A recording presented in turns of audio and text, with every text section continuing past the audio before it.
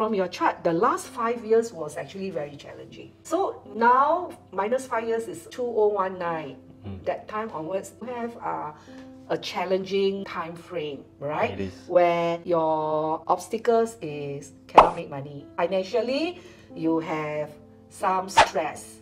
And this is the last five years until today, this is the stress.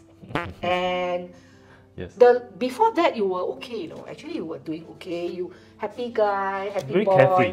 happy boy, lor, right? And actually, you are a nice person. You are, you have no, you, you are not someone that you want to plan this, plan that, you want to do. You actually go with the flow.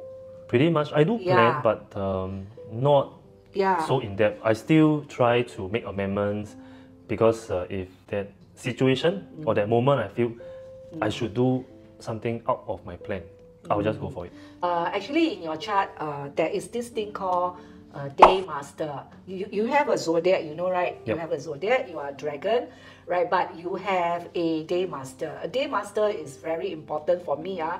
Everything has this thing called DNA, right? We have DNA, everybody have a DNA, the genes. Actually, in the metaphysic work that I do, uh, there is this sets of DNA, and this DNA is really like our science. Science is uh, science DNA, but uh, we don't derive into like all the codes, right? But we do have a, a complicated co- codes as well. Some people have studied this. Actually, at the end, they are like studying DNA, live DNA. So actually, you have a DNA of a Earth, and you are you have a very exactly like a soil Earth. You know, soil Earth, like a yes to, to plant plants, you do to grow plants. So you support plants, you support like building buildings, you are a supporter. So whatever you do, you support people.